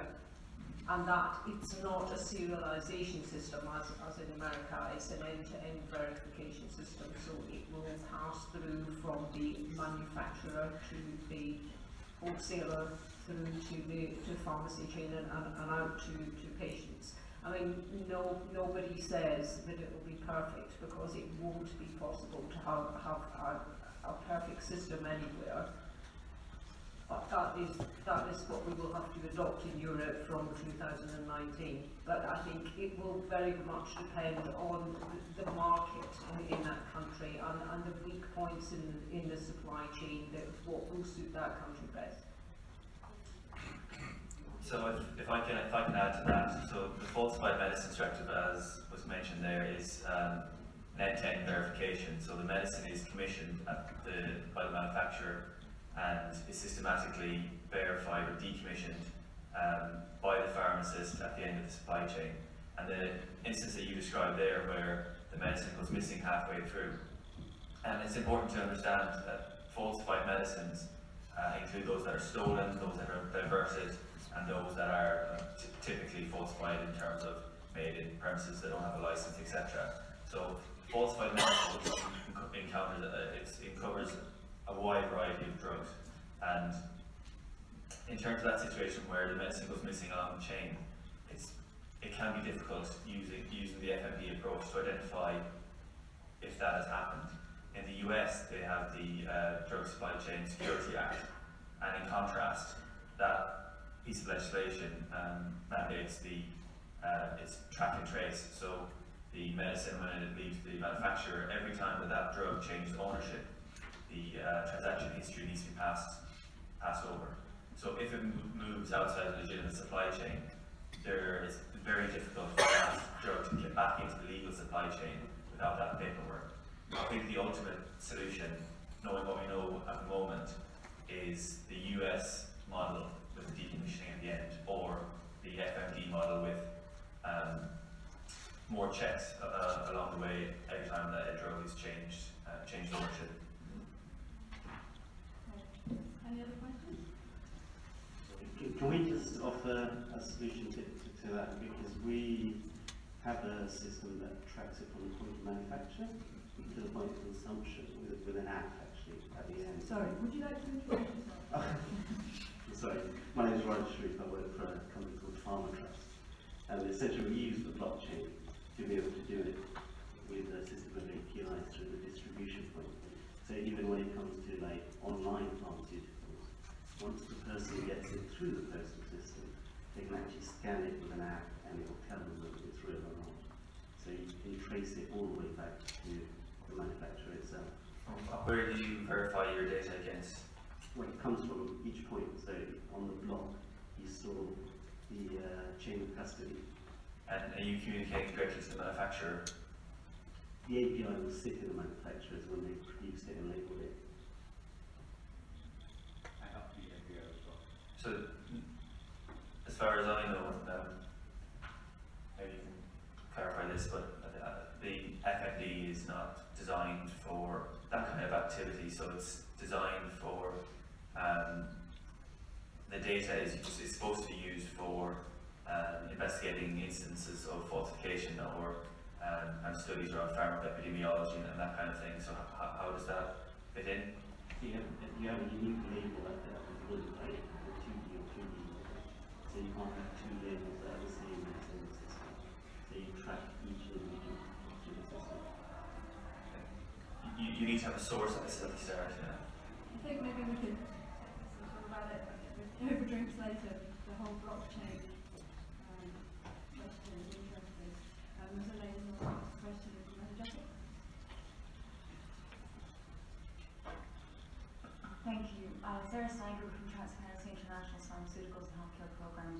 Um, I'd be interested to hear from the panel um, about the industry involvement in the fight against uh, substandard and falsified medicines. Do you think they're doing enough and what should they be doing?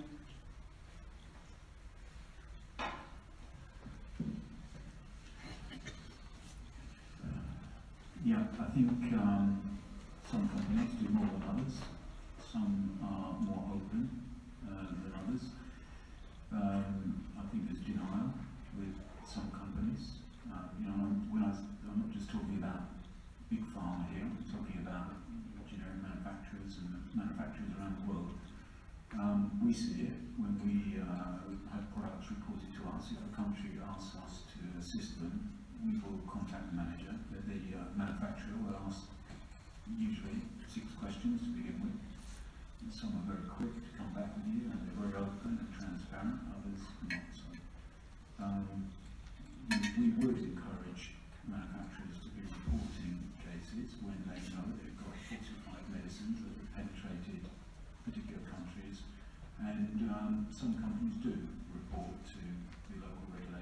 Regulatory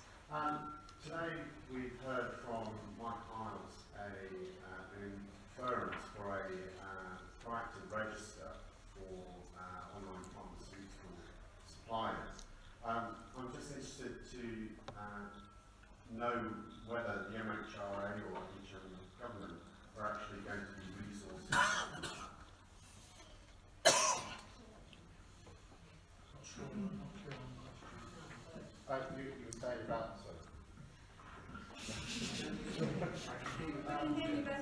okay, fair enough.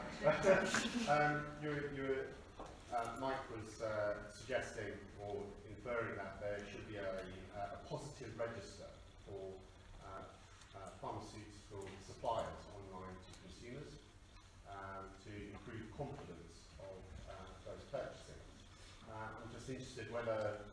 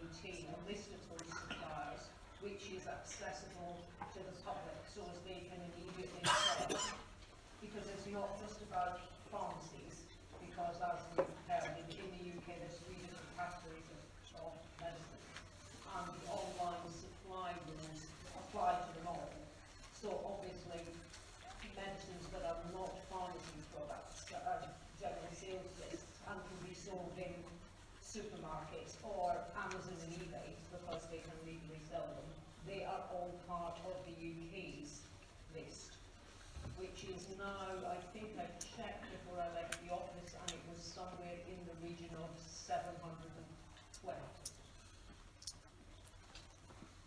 So, Thank you very much. I'd like to thank our panel for this discussion this evening. I think we've only kind of touched the tip of the iceberg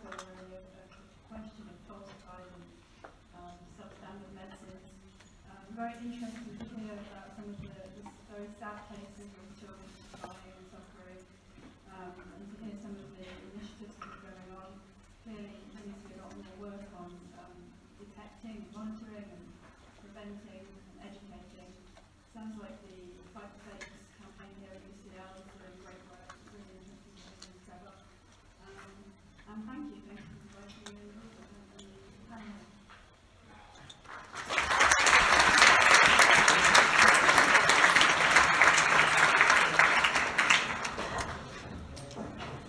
Thank you so much to everyone for your attention um, throughout this panel discussion. And if there were some questions that you feel that you just didn't get to sneak in during this time, please do feel free to approach our panelists at the uh, drink session that we will be holding in the Winter Garden. But just before we do that, before we move on to the, to the fun part of the evening, um, I'd like to play an address for one of our speakers that couldn't make it here today, um, and her personal opinion around uh, this issue. She is uh, Dr. Uh, Princess Nisreen El Hashemite. She's the first royal princess in the world to be qualified in science and medicine with a Bachelor of Bio- Biomedical Sciences, um, a Master of Science, and a Doctor of Philosophy in Human Genetics. And she's an alumni of UCL as well. She's currently the Executive Director of the Royal Academy of Science International Trust and is President of the Women in Science International League. So this short clip will have a few words from her, and then we will meet again in the Winter Garden. Thank you again.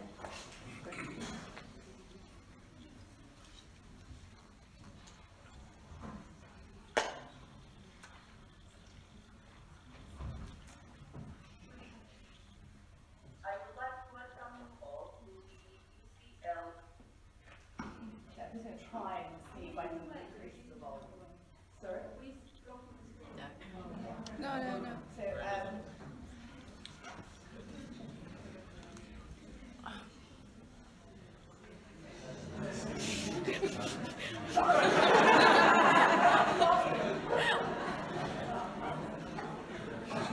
She did go.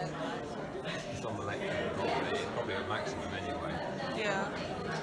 Because it's voice reinforcement, it's speech, it's not voice that I amplification. graduated from with my fourth degree, PhD in human genetics. I'm also happy with the work of UCL School of Pharmacy addressing the Sustainable Development Goals. In fact, our presence in the School of Pharmacy dated to 2016 when its student and Gazette's youth representative to the United Nations, Ali Farhat, presented the first ever thesis addressing UN Sustainable Development Goals. And I'm proud that I was Ali's supervisor. Well, I supervised Ali's thesis in the capacity of exec executive director, maybe because academic institution, uh, institutions at that time were not aware of the UN uh, 2030 agenda or the new Sustainable Development Goals. The subject of today's event is very close to my heart, and I strongly support the important work of the Fight the Fakes campaign and their partners in raising awareness around the growing global health threat of fake medicines. Allow me to take this opportunity to thank UCL School of Pharmacy for inviting me to share my vision. A special thank you to my colleague and friend, Ms. Oksana Pyzik, for her tireless efforts, passion, and commitment to this cause.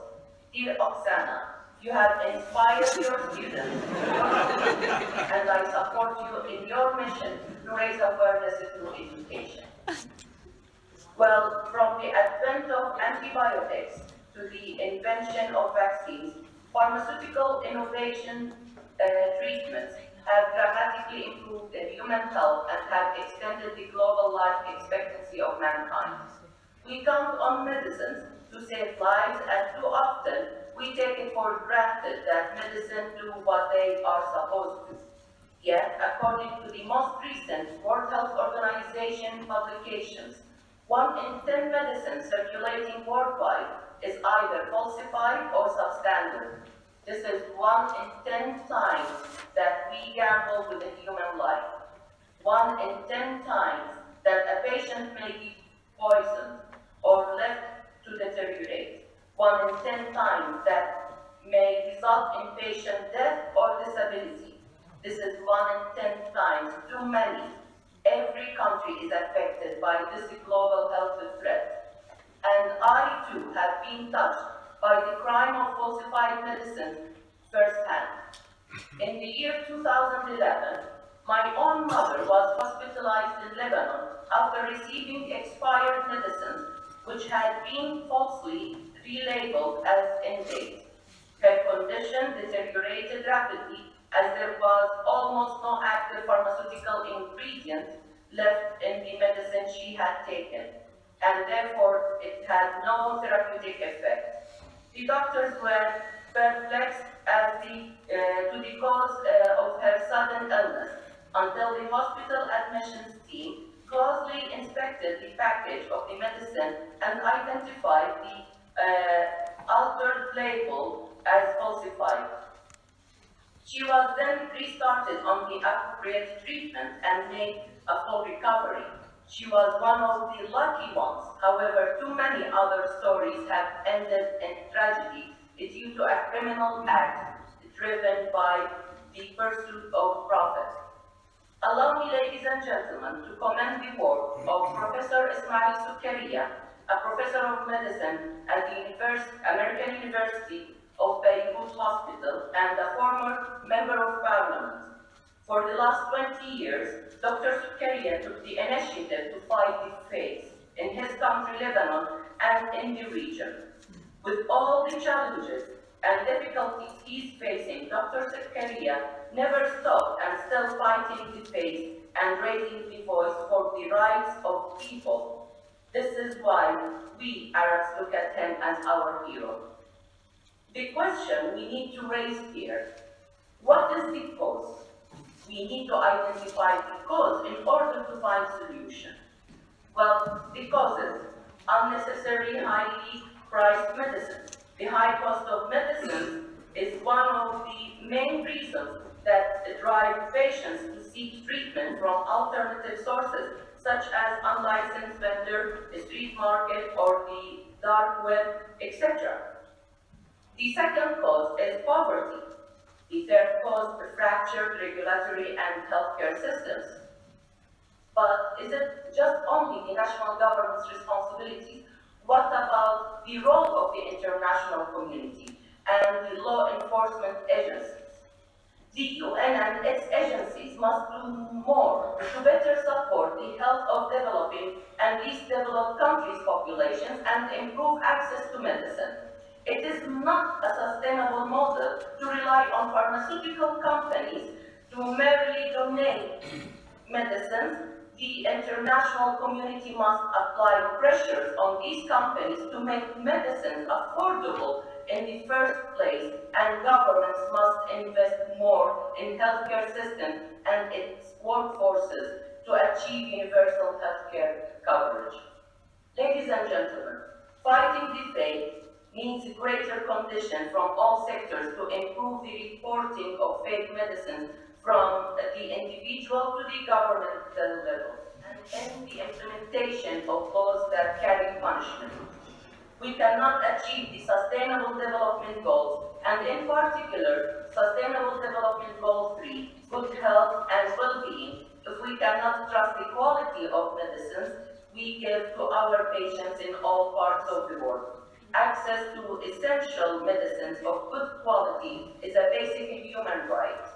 However, if we do not fully address the root of the problem, SDG 1, and we end poverty in all its forms, and if we do not address SDG 10 to reduce inequalities between societies and within a society, the cycle will not only continue but become entrenched in uh, all societies. Yet I am encouraged to see that events like this like this, uh, this evening, one, uh, have brought together so many passionate people and leaders from across all sectors to take action uh, against substandard and falsified medicines.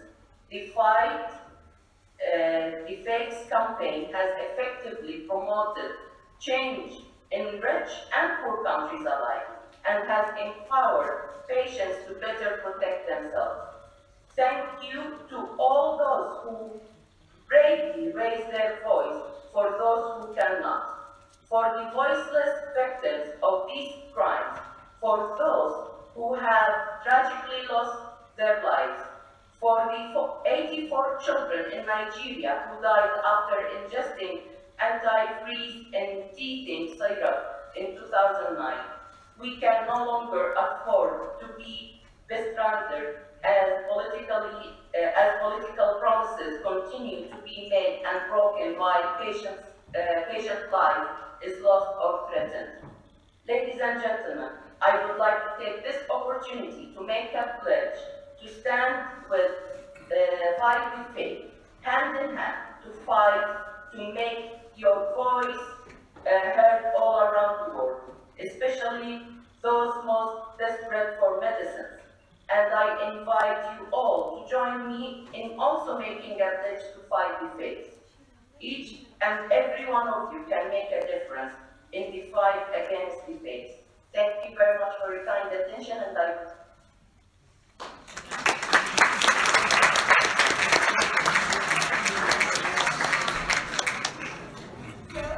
On that note, we invite you to take the pledge, and we also have a very quick preview of the UCL FTF photography competition, which actually Mick Deats referred to uh, as one of the ways that we can raise awareness. So uh, in third place, I'd like um, Professor Duncan Craig to address our third place uh, winner.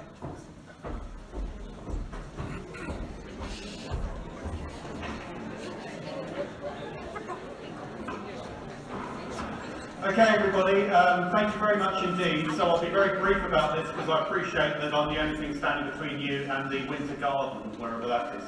Um, so basically, I've been asked to judge the, uh, the Fight the Fakes photography competition. So we've had three finalists. So one of those was Ramina. So many congratulations to her. So please put your hands together for Ramina.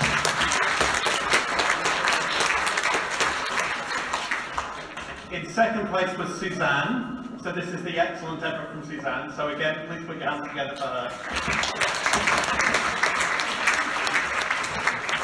And the winner, and you're obviously wondering what is the winner going to actually win, a Fight the t-shirt, which I think is highly impressive, is Miriam. So is Miriam here?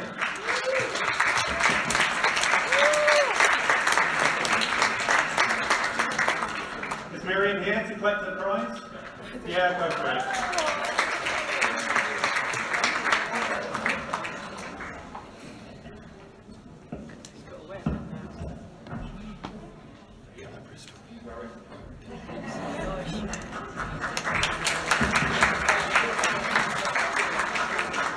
So uh, just, a, a, little parting shot before we go. Can I, on behalf of the UCL School of Pharmacy, and, and all of us, I think, thank our excellent panellists. It's been an absolutely fantastic evening for me.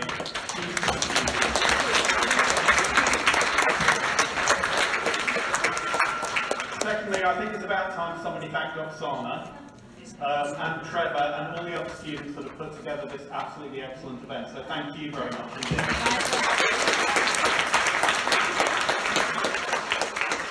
Finally, can I take this opportunity to say how absolutely delighted I am to see so many students here. I think Trevor did an absolutely brilliant job in pointing out what can be done by the student body within this arena. But it's not just what you can do as a student body, it's also what you can do when you leave here and you go on to take positions of responsibility in the future. Please encourage your peers and the people in the years below you to join this excellent effort and to get involved because you really can make things happen with the UCL Fight the Fakes campaign. With that, I'll thank you very much and thank all our panellists once again and hand back to Dr.